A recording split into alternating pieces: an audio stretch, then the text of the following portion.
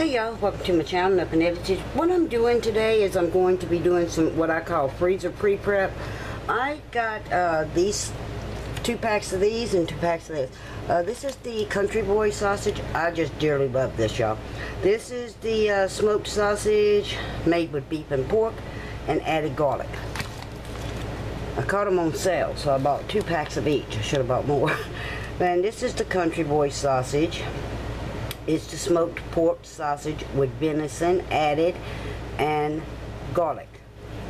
Okay, what I have over here, I'm going to spin y'all around. You know I love to spin y'all around. Here's my cutting board that I got from uh, Lisa Northcutt. I do appreciate these, girl. I really do. Thank you so much. And then over here, I'm just going to carry y'all over there. That's my two prep cans. I'm going to put two links of the, the venison sausage in one and the uh, pork and beef in the other. Okay, let me open these packages up and we'll get rolling.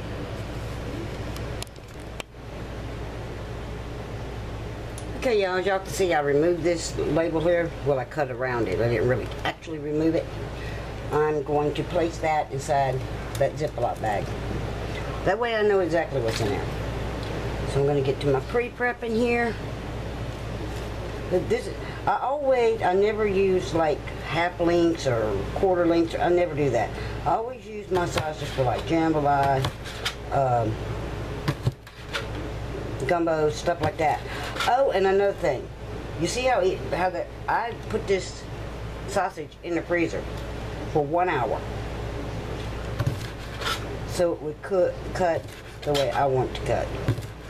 It just seems to help cut. Watch, it'll start tearing up now. No. but I just find this to be the easiest way to pre-prep sausage. I mean, when you're ready to cook a gumbo or, um, let me cut that one, a gumbo or jambalaya or sausage and potatoes. This just saves a step because y'all have seen me pre-prep my celery and my onions, so that's pre-prep.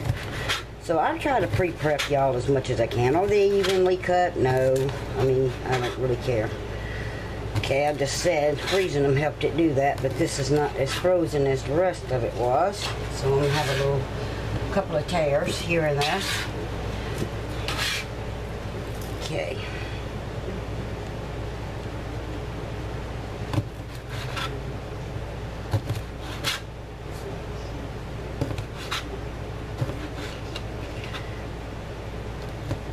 So much easier.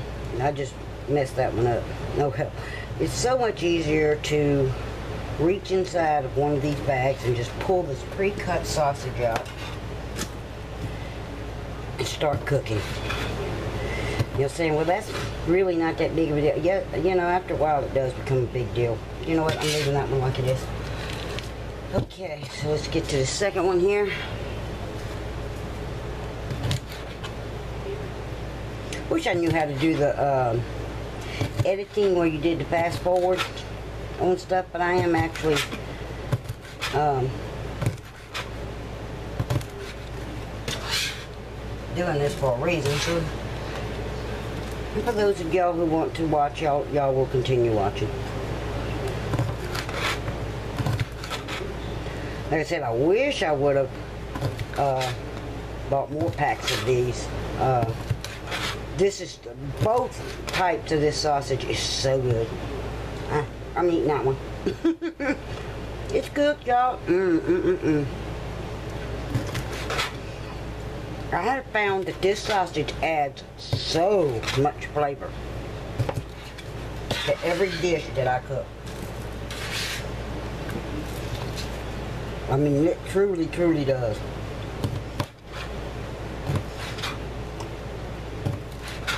I will never buy Eckrich sausage again. Um, Mandas, that type. Now there is another brand out there that I really like a lot. And uh, it's called Eddie's. And they have different varieties of their sausage as well. It's a very good sausage. But I wanted to, I mean, I mean, that's a nice, that's a nice sausage there. I'm not doing a sausage review. But I guess I really could because I just love this sausage. I used the, um, I've used the deer in a couple of recipes, uh, gumbo and jambalaya. And I've also used the pork and uh, beef sausage in other recipes. I'll be right back. Okay, now I'm going to be pre-prepping the uh, smoked sausage with the pork and beef. Again, I'm dropping the label in there. Another time saver. I'm not sitting there uh, marking a bag. I don't have to. This won't last. I mean, I see people put dates on food. Um, stuff like this don't last at my house. You can rest assured it won't. So.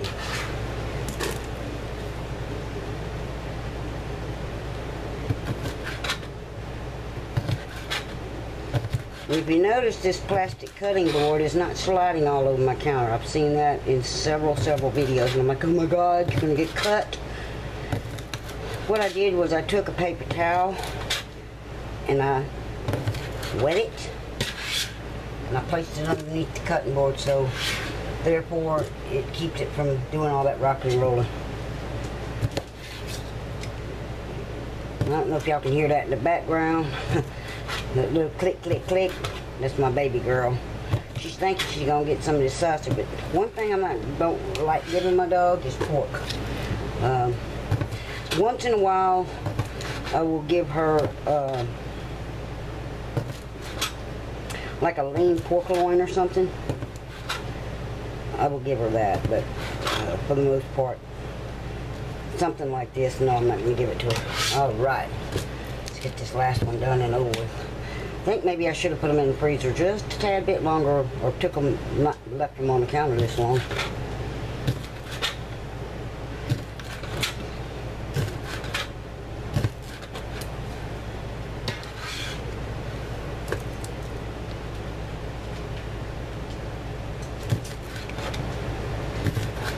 Okay, I'm gonna finish cutting this up and I'll be right back.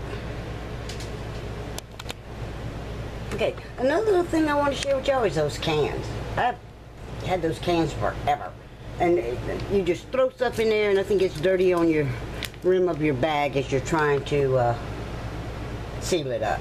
So, I mean, that's just a tip. I mean, been doing it for years. Bag, and I did wash my hands. See, there's that label right there. I don't have to worry about all that. So.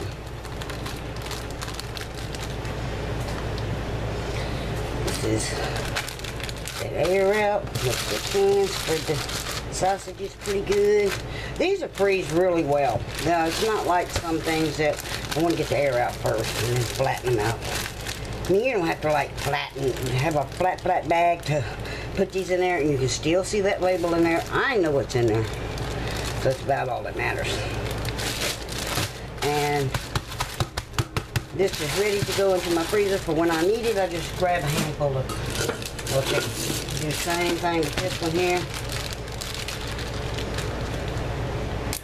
I don't do anything the same way twice. If I did, I'd be boring like everybody else, I guess. Like everybody else, you try not to be boring. I don't know what to say. I just don't never do things the same way twice. Like I told my husband, can't go around the block the same way twice. So what makes you think I'm doing anything else the same way twice? All right, so there we have it. We have our two bags